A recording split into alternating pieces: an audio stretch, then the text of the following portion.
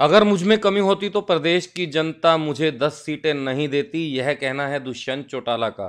पानीपत पहुँचे दुष्यंत चौटाला ने यह बात ओम प्रकाश चौटाला के बयान पर कही। उन्होंने कहा कि गठबंधन की सरकार पूरे पाँच साल चलेगी, जल्द ही स्वच्छ भारत मिशन के तहत सभी नेता अपने क्षेत्र में अभियान चलाकर वाटर ट्रीटमेंट प्लांट भी लगवाएँगे। उन्होंने कहा कि विपक्ष सरकार से डर रहा है। पानीपत में एक निजी अस्पताल द्वारा कैंसर यूनिट की शुरुआत करने पहुँचे प्रदेश के उप मुख्यमंत्री दुष्यंत चौटाला ने कहा कि आज प्रदेश में विपक्ष को डर है कि यह गठबंधन की सरकार स्थायी सरकार की तरह चल रही है। उन्होंने कहा कि जनता से वायदा किया गया था कि एच के सेंटर 50 किलोमीटर के दायरे में होंगे, जिसे पूरा किया गया है। शराब के ठेके गाँव से बाहर होंगे, इसको लेकर पंचायतों से रेजोल्यूशन मंगाया गया है। उन्होंने कांग्रेस पर आरोप लगाते हुए कहा कि कांग्रेस ने 10 साल में सात सौ रुपये पेंशन बढ़ाई थी और हमने 60 दिन में ही गठबंधन की सरकार ने ढाई सौ रुपये पेंशन बढ़ा दी है। दिल्ली में होने वाले चुनावों पर दुष्यंत चौटाला ने कहा कि 11 तारीख को दिल्ली की सदस्य कमेटी फैसला लेगी कि चुनाव अकेले लड़ने हैं या गठबंधन के साथ। उन्होंने कहा कि उद्योगों को बढ़ावा देने के लिए नई नीतियाँ बनाई जा रही हैं दोनों पार्टियों के सहयोग से अब तक नौ फैसले लिए गए हैं। दोनों ही पार्टियों के घोषणा पत्र में ये घोषणाएँ थी। दुष्यंत चौटाला ने कहा कि टोल प्लाजा के ऊपर बोर्ड लगाया जाएगा कि कितने पैसे वह ले चुके हैं, इसका भी हिसाब रखा जाएगा।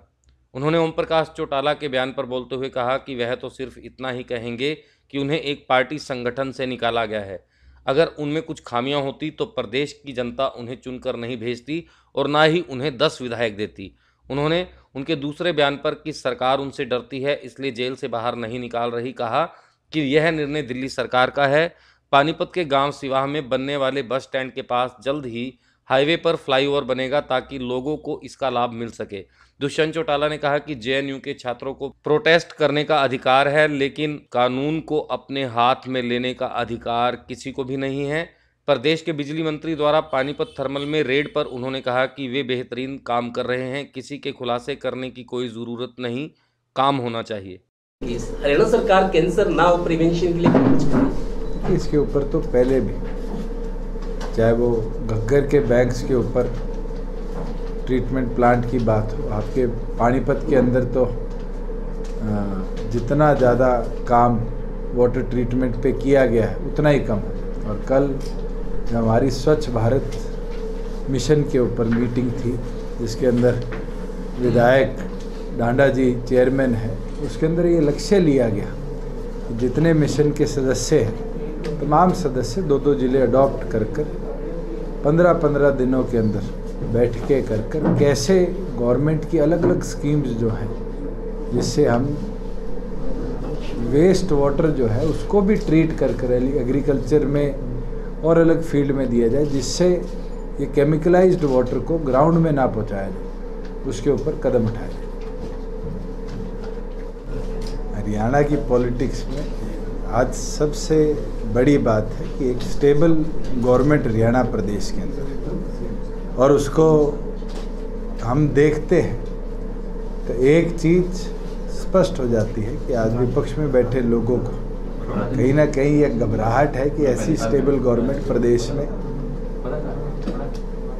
कैसे चले। हमने तो पहले दिन जब ये निर्णय लिया था कि पाँच साल तक स्टेबिलिटी प्रदेश में लेकर आएँगे, और उसके बाद एक ऐसे मोड पर काम करना शुरू किया जिसके अंदर चाहे एच के पेपर को 50 किलोमीटर के दायरे में कंप्लीट कराने की बात। चाहे गाँव ग्रामीण क्षेत्र से ठेकों को समाप्त करने के लिए। ग्राम पंचायतों से रेजोल्यूशन आए। और बड़ी खुशी होती है आपसे साझा करते हुए कि जो कानून पहले था, जिसके अंदर अगर कोई गाँव में एक भी लीगल ड्रॉप अल्कोहल की बांटता था तो उसको आगे ठेका दे दिया जाता था उस कानून को समाप्त कर कर पंचायती राज एक्ट में संशोधन लाकर ग्राम सभाओं को ये अधिकार दिया। और बड़ी खुशी है, कई हल्के तो ऐसे हैं जहाँ 33 परसेंट ज़्यादा गाँव ने ग्राम सभा करी रेजोल्यूशन पारित करी और आगामी एक्साइज पॉलिसी में उनको हटाएँगे। और बेहद खुशी की बात है कि जो आईएनएलडी की सरकार में छः साल में दो सौ रुपये बढ़े, कांग्रेस की सरकार के दस साल में सात सौ रुपये बढ़े। आज बीजेपी, जेजेपी की सरकार में 60 दिनों के अंदर हमने ढाई सौ रुपये बुढ़ापा पेंशन बढ़ाने का काम किया और उसके साथ कानून ये भी पारित किया कि जो लेबर वेलफेयर फंड है, जिसके अंदर कंस्ट्रक्शन लेबर या रजिस्टर्ड लेबर्स, जब वो अपने रिटायरमेंट एज पर आएँगे तो उनको सरकार के आगे हाथ ना फैलाने पड़े। हरियाणा सरकार की वृद्धावस्था पेंशन से भी पाँच सौ रुपये एडिशनल उस लेबरर को दिए जाएँगे, क्योंकि आज उसकी कमाई का हिस्सा वहाँ पर सेव होता है।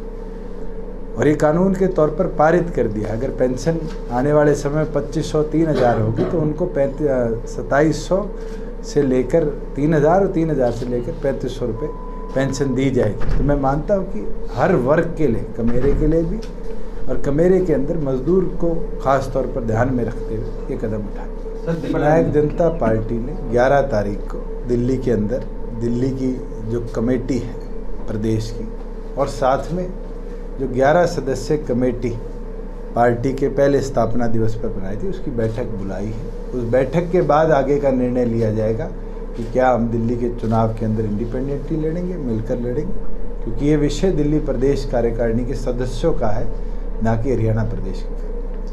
हरियाणा प्रदेश के अंदर पहले भी इंडस्ट्रियल पॉलिसी चार कैटेगरीज में बांटी गई थी ए बी सी डी उसके बाद फुटवेयर पॉलिसी अलग आई थी टेक्सटाइल पॉलिसी अलग आई थी। क्योंकि नई सरकार के अंदर अनेक चीज़ों पर काम चल रहा है, चाहे रजिस्ट्रेशन ऑफ़ लेबर वर्कर्स है, चाहे सर्वे ऑफ़ इंडस्ट्री है। सबसे इंटरेस्टिंग चीज़ तो ये थी कि एग्जैक्ट नंबर ऑफ़ इंडस्ट्रीज़ जो है, आज वो भी डाटा प्रदेश में उपलब्ध नहीं है क्योंकि बहुत सी ऐसी इंडस्ट्रीज़ है जो अपने लाइसेंस रिन्यू नहीं कराती। इसलिए सरकार ने इंडिपेंडेंटली पूरे हरियाणा प्रदेश के 22 जिलों में इंडस्ट्री के सर्वे करवाए हैं और जैसे ही सर्वे के अंदर एग्जैक्ट नंबर ऑफ़ इंडस्ट्री आ जाएगी पॉलिसी के अंदर भी ट्रांसफॉर्मेशन कर कर कैसे नए उद्योगों को छोटे उद्योगों को आगे बढ़ाया जाए उसके ऊपर काम कब तक होगा ये सर्वे तो बजट से पहले हो जाएगा चल रहा है। मिनिमम कॉमन प्रोग्राम एजेंडे के मुख्य बिंदु। नौ चीज़ें कॉमन मिनिमम प्रोग्राम के अंदर ऑलरेडी दोनों पार्टियों ने मिलकर अप्रूव कर दी है जिसके अंदर चाहे हाई कोर्ट के अंदर या लोअर कोर्ट के अंदर क्योंकि हाई कोर्ट प्रेसिडेंट्स की रेफरेंस के बाद अप्रूव होगा हिंदी भाषा का उपयोग बुढ़ापा पेंशन में वृद्धि हो पचास किलोमीटर में एच टैट हो अनेकों चीज़ें हैं जो कॉमन मिनिमम प्रोग्राम में पूरी हुई है। एक बैठक के बाद क्योंकि कई ऐसी चीज़ें थी जिनमें फाइनेंशियल इम्प्लीकेशंस की ज़रूरत थी। आज ढाई सौ रुपये बुढ़ापा पेंशन का बढ़ना भी, ये मानकर चलो कि 900 प्लस करोड़ का बोझ आर्थिक तौर पर सरकार के ऊपर है। क्योंकि एक व्यक्ति को अगर पेंशन में एक रुपये वृद्धि देनी है तो अट्ठाईस लाख लोग हैं तो लगभग तीन करोड़ और नब्बे लाख के आसपास एक रुपये से एडिशनल बोझ आता है। और उसके बावजूद भी बिना बजट की वो करे। सरकार ने साठ दिन में निर्णय लिया एजुकेशन को लेकर बिल्कुल एजुकेशन मिनिस्टर उस पर इंडिपेंडेंटली अपना काम कर रहे हैं।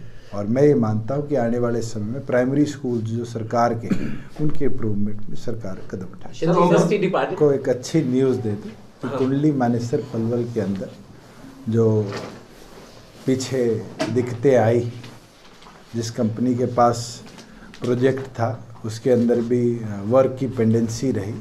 सरकार ने उसको टाइम दिया है, मगर मंथली बेसिस पर। बिना पेमेंट करे अगर वो काम करते हैं, नहीं तो फिर मंथली बेसिस पर हरियाणा सरकार उसी पैसे से उस हाईवे को डेवलप करेगी। और हमने तो एक सुझाव भी रखा था, जब एच एस की बैठक थी, कि एक बड़ा हाईवे के ऊपर हम बोर्ड लगाएँगे, क्योंकि ये लोगों के पैसों से बना हुआ हाईवे है। पे टू यूज़ है। कि अगर आपका एक रुपया टोल वहाँ जाएगा तो उस टोल बोर्ड पे टोटल प्रोजेक्ट कॉस्ट से एक रुपया माइनस होता रहेगा। और हरियाणा के ही नहीं देश के हर नागरिक को पता चलेगा कि उनका कितना योगदान उस वो खुश नज़र नहीं आ रहा क्या कहना चाहिए मैं तो इतना बोल सकता हूँ मेरे को एक पार्टी संगठन से निकाला गया था। उसके बाद एक एक साथी ने जेजेपी में मिलकर काम किया और उसके बाद आज हमारे दस विधायक जीते चौटाला साहब वही चीज़ किसी व्यक्ति के बारी बारी कहने से सत्य हो तो मैं तो इतना ही बोलूँगा कि वो बोलते रहे क्या पता परमात्मा आने वाले समय में बनाई दे। राणा साहब का आज आज बयान छपा हुआ है कि मेरे से डरते हैं सरकार के लोग मेरी सजा पूरी होगी मेरे को छोड़ नहीं रहे दिल्ली मेरे से डरते हैं। दिल्ली प्रदेश सरकार का मामला है।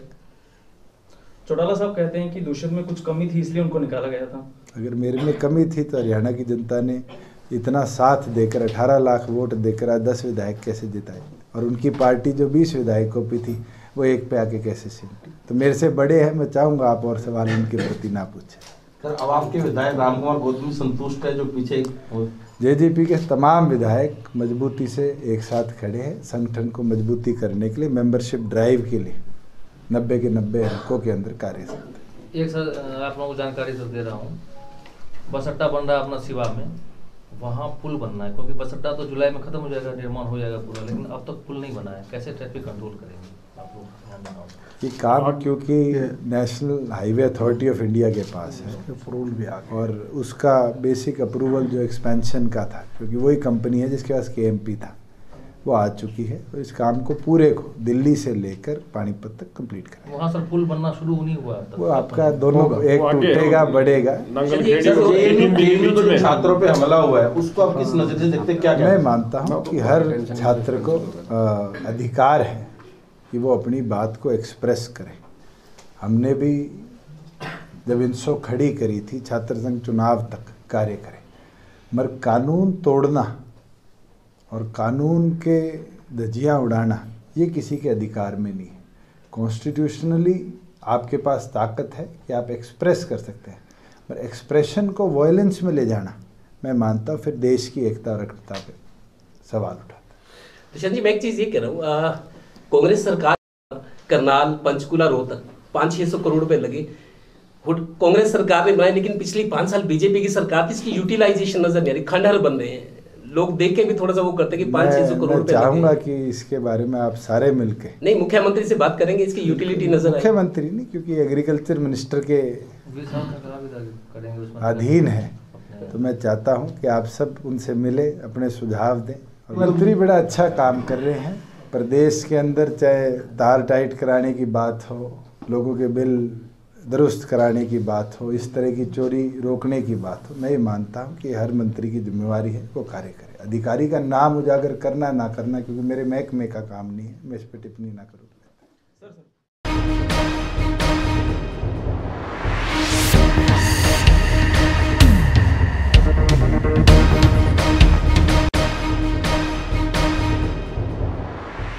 हरियाणा के मुख्यमंत्री मनोहर लाल ने आगामी 12 जनवरी को हरियाणा के सभी 22 जिला मुख्यालयों पर आयोजित होने वाली रन फॉर यूथ मैराथन दौड़ को लेकर प्रदेश के सभी उपायुक्तों को निर्देश जारी किए हैं।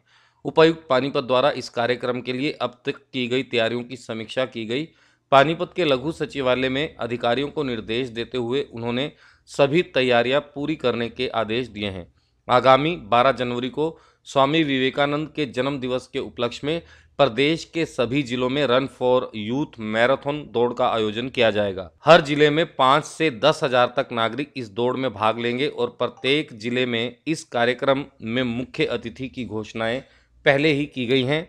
उपायुक्त हेमा शर्मा ने कहा कि इस कार्यक्रम को सफल बनाने में सभी सरकारी, अर्ध सरकारी विभागों के अलावा सभी समाजसेवी संस्थाएँ, क्लब्स, शिक्षण संस्थाएँ पंचायती राज संस्थाओं के सदस्य, नगर निगम तथा नगर पालिकाओं के सदस्य बढ़ चढ़कर भाग लेंगे। उन्होंने सभी अधिकारियों को निर्देश दिए हैं कि इस कार्य को सफल बनाने के लिए सभी प्रयास करें। पानीपत में यह कार्यक्रम हरियाणा शहरी विकास प्राधिकरण के सेक्टर तेरह सत्रह में आयोजित किया जाएगा और इस रन फॉर यूथ मैराथन दौड़ को सफल बनाने के सभी प्रयास किए जा रहे हैं। और तेरह सत्रह के ग्राउंड के पास पॉइंट बनाएँगे हम तीन किलोमीटर का। उससे आगे दस किलोमीटर वाली होगी और जो पाँच किलोमीटर वाली होगी वो सीधी निकल जाएँगी। और जो हमारा अंसल का गेट है इधर जो अ, नूरवाला की तरफ़ है उससे लेफ़्ट और राइट। लेफ़्ट में हमारी पाँच किलोमीटर वाली हो जाएगी उसका रूट आगे से। जितना पाँच किलोमीटर कवर होगा वहाँ से वो वापस होके खत्म यहीं होगी अपना तिरस्त्रा चौक के ऊपर। और 10 किलोमीटर वाली लेफ़्ट होके जो सेक्टर 18 वाला बाईपास रोड है उस पे जाके जहाँ से 10 किलोमीटर कंप्लीट करते हैं वहाँ से यू टर्न करा के खत्म सारी यहीं पर चौक के ऊपर होंगी तीनों की तीनों इसकी मैप देखो जारी करवा देना मैप जल्दी जारी हो जाएगा आज शाम तक जारी कर देंगे। लेकिन तारीख कब होनी है किस उद्देश्य को लेकर होनी है कितने किलोमीटर है? कि आप सभी जानते हैं कि 12 जनवरी को स्वामी विवेकानंद जी का जन्म दिवस है। इस उपलक्ष्य में पूरे हरियाणा में और ज़िले में मैराथन का आयोजन किया जा रहा है। बारह जनवरी को ये मैराथन का आयोजन हमारे पानीपत ज़िले में किया जा रहा है। इसमें तीन कैटेगरी बनाई गई हैं। तीन किलोमीटर की, पाँच किलोमीटर की और दस किलोमीटर की। सुबह ये मैराथन शुरू होगी और लगभग दस बजे के आसपास से खत्म होगी। और उसके बाद सीएम साहब जो अचीवर्स हैं ज़िले के, जिन्होंने अपने किसी भी क्षेत्र में कुछ हासिल किया है मुकाम हासिल किया है, उनसे इंट्रैक्शन करेंगे। तो उसमें भी हम सभी पानीपत निवासियों को इस मैराथन में आमंत्रित करते हैं कि इसमें ज़्यादा से ज़्यादा लोग अपनी रजिस्ट्रेशन कराएँ बड़ा सरल सा प्रोसेस है रजिस्ट्रेशन का। सिंपल साइट पे जाके आपको अपने बारे में कुछ इन्फॉर्मेशन फ़ीड करनी है उसमें और आपका रजिस्ट्रेशन हो जाएगा। और ज़्यादा से ज़्यादा लोग इसमें मैराथन में भाग लें, जिसमें जो नाम रखा गया सरकार की तरफ़ से run for youth youth for nation and nation for youth ये जो स्लोगन्स दिए गए हैं इसमें। और जो उसके बाद हमारी सीएम साहब के साथ इंटरेक्शन होगी ज़िले वाइज उसमें भी जो भी हमारे अचीवर्स हैं, आप लोगों के माध्यम से मैं सभी पानीपत वासियों से अपील करती हूँ कि जिन्होंने भी कुछ भी हासिल किया, अपने किसी भी फ़ील्ड में शिक्षा के क्षेत्र है चाहे कृषि का क्षेत्र है चाहे खेलों का क्षेत्र है समाज कार्य का क्षेत्र है किसी में भी जो भी उपलब्धि हासिल की है तो वो उसमें आए और सीएम साहब के साथ जो बातचीत करने का उनको मौका मिलेगा उस मौके का वो फ़ायदा फिर लगभग कितने लोगों के आने की आशा लगा रहे हैं? आप मैराथन में हिस्सा लेंगे। हम लगभग दस हज़ार से तो ऊपर की उम्मीद लगा रखी है। अभी तक हमारे चार हज़ार के करीब रजिस्ट्रेशन हो चुकी है ज़िले के अंदर और उससे ज़्यादा की हमारी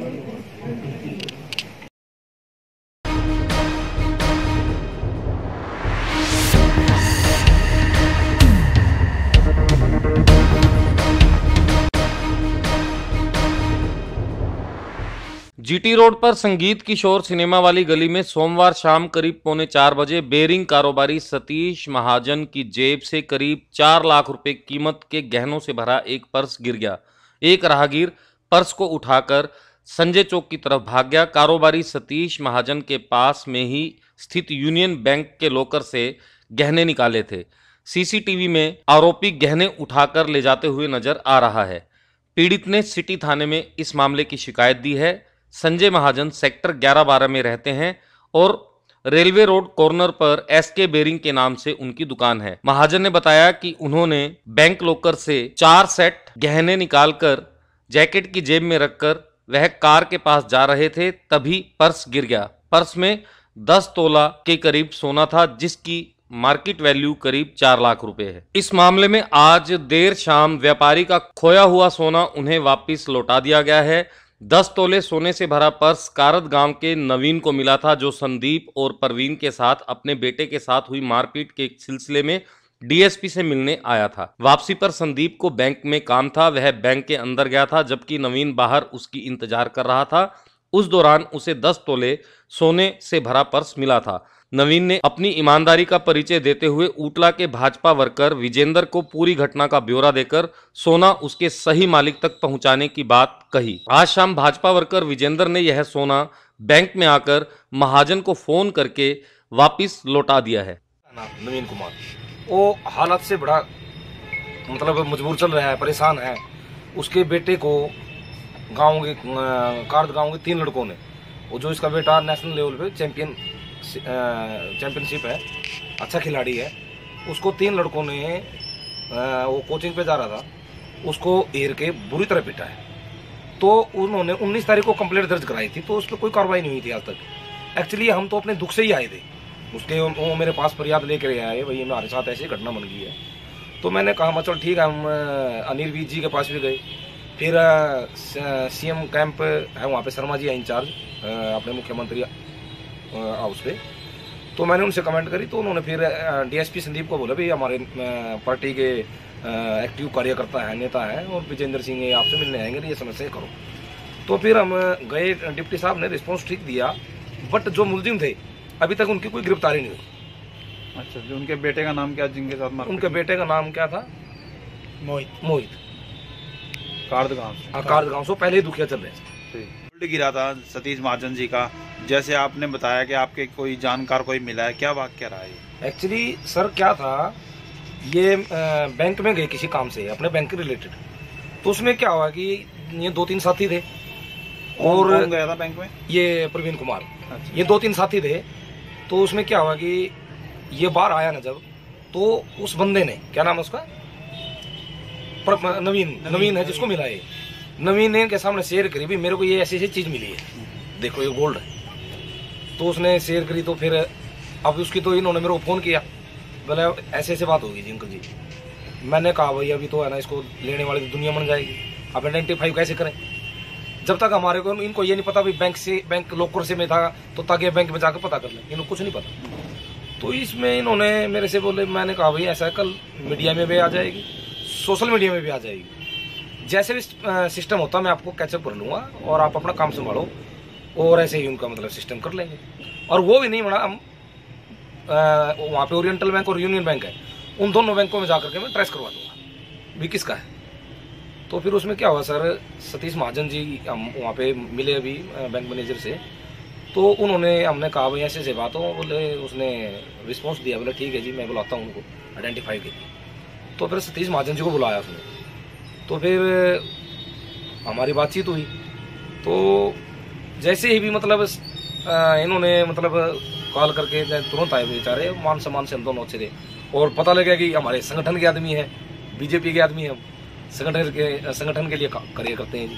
तो और भी उत्साह हुआ हमारे को मिलके। भाई हमारी भविष्य में ना जाने एक दूसरे की किसको ज़रूरत पड़ेगा क्या नाम है आपका? विजेंद्र सिंह है सर। आप पार्टी में बीजेपी में? हाँ बीजेपी ठीक। कौन से गाँव से? गाँव टला है तकरीबन पानीपत रहते हैं। ये नवीन भी उठ लगा है। नहीं नहीं ये कारद गाँव से। ठीक है। ये जी इन्होंने मेरे से जैसे गाइडलाइंस दी क्योंकि डर तो होता ही आदमी को। क्योंकि इन्होंने एक बार में बाबूजी को भी नहीं पता था। एक्चुअली कितना है? क्यों लेडीजों को पता होता है तो? ये तो लोकर से उठा लाए। तो उनको ये था कि भाई उन्होंने बारह तोले लिखवा रखा जी कहीं ऐसा उल्टी न पड़ जाए। मैं बोला ऐसा कुछ नहीं है। ठीक है वो बड़... पुलिस थानों के भी चक्कर लगाए हैं मीडिया का भी आपने सहारा लिया। अभी ये शख्स आपको मिले हैं तो क्या आपको किस तरह की खुशी महसूस हुई? बहुत अच्छा लग रहा है सर। बल्कि सही पूछो ना तो सुबह से ही मैं, सुबह से कम से कम तीन चार बार मैं चक्कर लगाया था। एस एच साहब से मिला था डीएसपी साहब से मिला था, उन्होंने यही आश्वासन दिया था, कोई बात नहीं, कार्रवाई होगी, आपका काम हो जाएगा। लेकिन मुझे कुछ शाम तक भी एफर्ट नज़र नहीं आई। मैं दोबारा उठाने गया, मैं कहा एस एच ओ साहब से मिला, मैंने कहा कुछ हुआ नहीं, कहते आप ऐसे करो रिपोर्ट लिखाओ, पूरी। तो सारा काम, मैं अभी बैठा था तो मुझे बैंक से फ़ोन आ गया, तरुण जी का। तो कह रहे, आप जल्दी आओ, जिनको गोल्ड मिला था, उनके रिश्तेदार जहाँ आए हैं, आपको ढूंढ रहे हैं। मैं तो बैंक में आया इनको देखा भाई साहब बैठे थे। बड़े प्यार से गले मिले मेरे। मुझे कह रहे जी हाँ आपकी पहचान है कोई? मैंने पहचान बता दी। कहते हाँ बिल्कुल ठीक पहचान बताई आपने। ये लग रहा है आपका आप, हम आपकी फ़ोटो भी देखी थी अखबार में। तो इसलिए हम यहाँ आए। तो क्या कहना चाहेंगे आप हाँ जी। क्या कहना चाहेंगे आपके? सर मेरे पास वर्ड ही नहीं है थैंक्स करने के। जितना इन्होंने परिचय दिया ईमानदारी का इंसानियत का मेरे ख्याल में बहुत कम लोग होते हैं दुनिया में जैसे इंसान होते हैं जो दूसरे का दुख समझते हैं, ईमानदार दिखाते हैं। वो चीज़ ऐसी भाई साहब, जिसको मिल जाए वो कहते भाई ये मेरा ही है। तो ये बहुत बढ़िया इन्होंने उदाहरण पेश किया आज। मेरे को ये वापस करके मैं सब तुम्हें बयान नहीं कर सकता। बहुत जितना भी था इसका उतना ही कम है।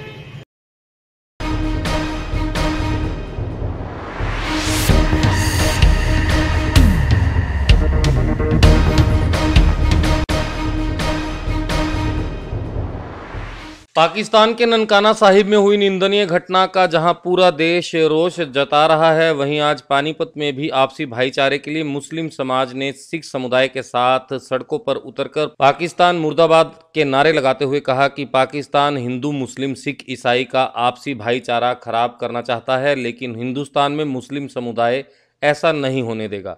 लोगों ने रोष मार्च निकालते हुए उपायुक्त के माध्यम से राष्ट्रपति के नाम ज्ञापन सौंपकर पाकिस्तान मध्य प्रदेश व उत्तर प्रदेश में सिख समुदायों के साथ हुई निंदनीय घटना पर कार्यवाही की मांग की है।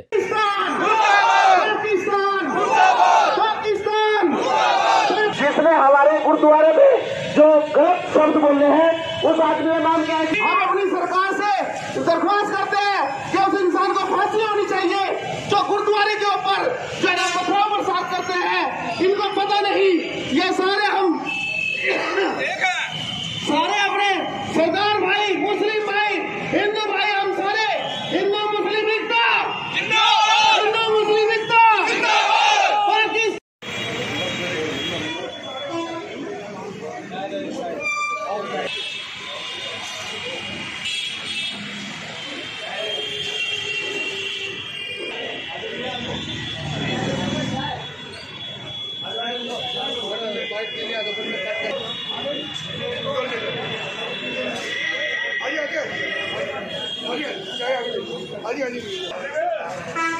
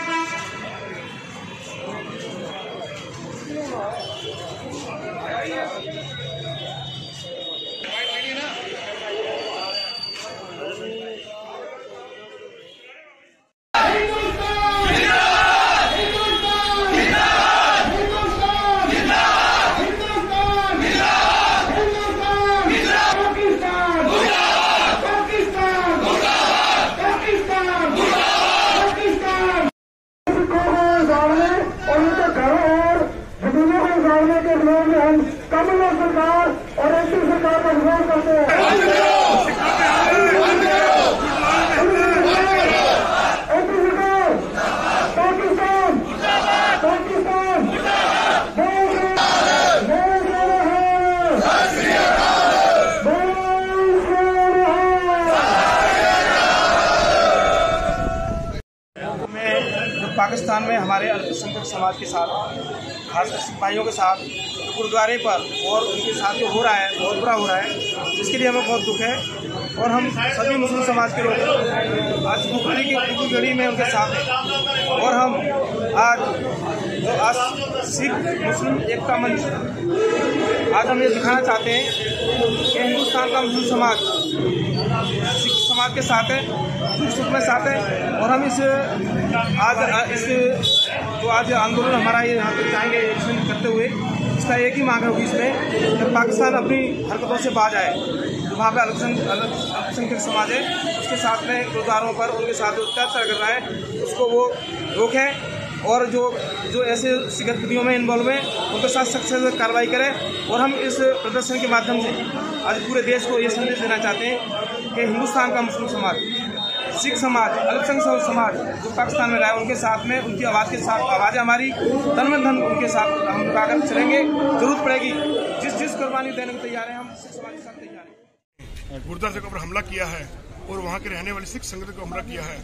और जो मध्य प्रदेश में जो सिखों के घर उजाड़े गए हैं और यूपी में एक नगर कीर्तन निकालने पे जो पचपन गाड़ियों को चलान किया गया है, इन सभी बातों का आज रोष प्रकट करते हुए हम राष्ट्रपति के नाम बीस साहब को ज्ञापन देने आए हैं कि सिख कौम हमेशा से ही किसी को ऊंच नीच से हटके सभी का भला करती आई है। उसने कभी भी किसी से भी भेदभाव नहीं किया उनको इस तरह के हमले जो करे हैं, वो सिख कौम कभी बर्दाश्त नहीं करेगी। बोले